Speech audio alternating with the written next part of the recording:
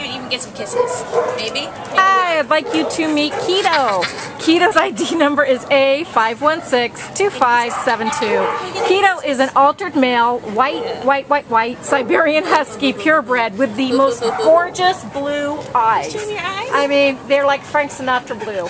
And he is just a handsome, sweet, kissy fella. He walks great. Um, as Janice said, he works a dream on a leash. He's wonderful.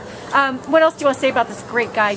Oh, he got along so well with the other dogs. There was another couple of huskies out here, and they were playing, and he was very gentle and loving. He just he doesn't have a mean bone in his body. He um, he is husky, so he's probably going to need a good amount of exercise and stimulation. Um, but he's very loving. He gives he gives really quick kisses. I don't know if I'm going to get one right now. No, not right now.